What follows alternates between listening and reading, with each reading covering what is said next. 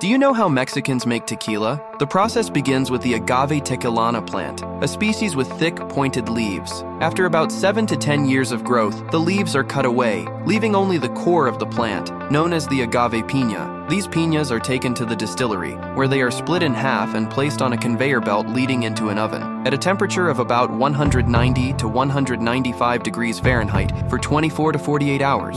The starches in the plant's core gradually convert into sugars. Once baked, the piñas are cooled and then crushed crushed to separate the fibers. The fibers are placed into a pit, where a large rotating stone wheel is used to press out the sweet juice. This juice undergoes natural fermentation in large wooden vats, then is distilled twice to produce a clear, aromatic spirit called tequila. Depending on the type, tequila may be aged in oak barrels to develop richer flavors and deeper color. Finally, the tequila is filtered, bottled, and labeled, ready to offer drinkers the warm, vibrant taste that embodies the spirit of Mexico.